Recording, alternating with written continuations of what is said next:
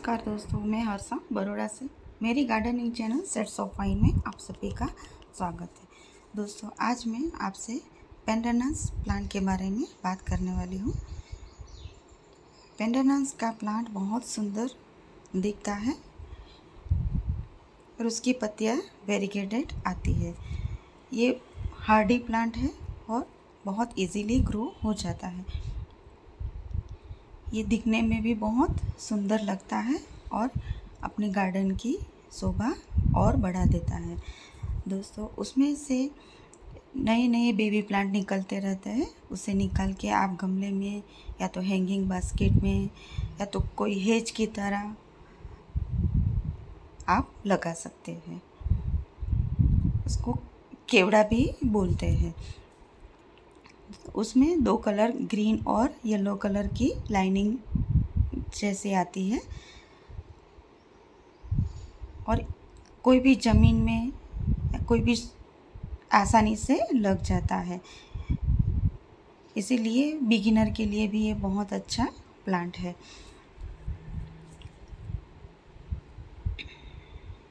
उसको ज़्यादा पानी की भी ज़रूरत नहीं पड़ती और ज़्यादा केयर करने भी करने की भी ज़रूरत नहीं पड़ती।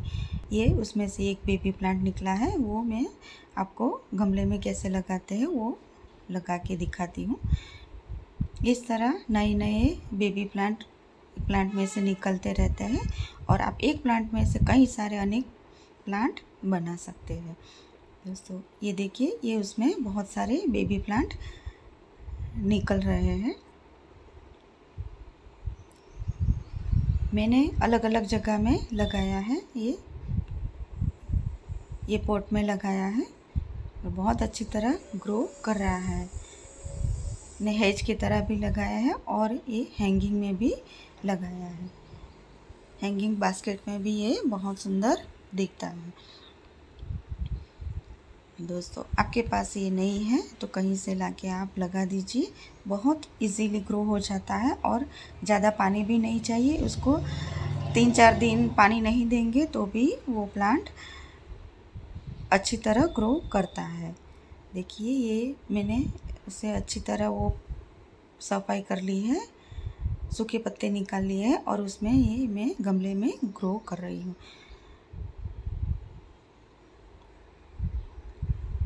तरह, अच्छी तरह इसमें मिट्टी भर दीजिए और फिर से पानी अच्छी तरह दे दीजिए और उस सीड वाली जगह में रख दिए, रख दीजिए, आपका प्लांट अच्छी तरह ग्रो हो जाएगा। दोस्तों, ये एक बहुत सुंदर और हार्डी प्लांट है और इजीली ग्रो होने वाला प्लांट है तो आप इजीली लगा सकते हैं और आपकी गार्डन की सुंदरता बढ़ा सकते हैं।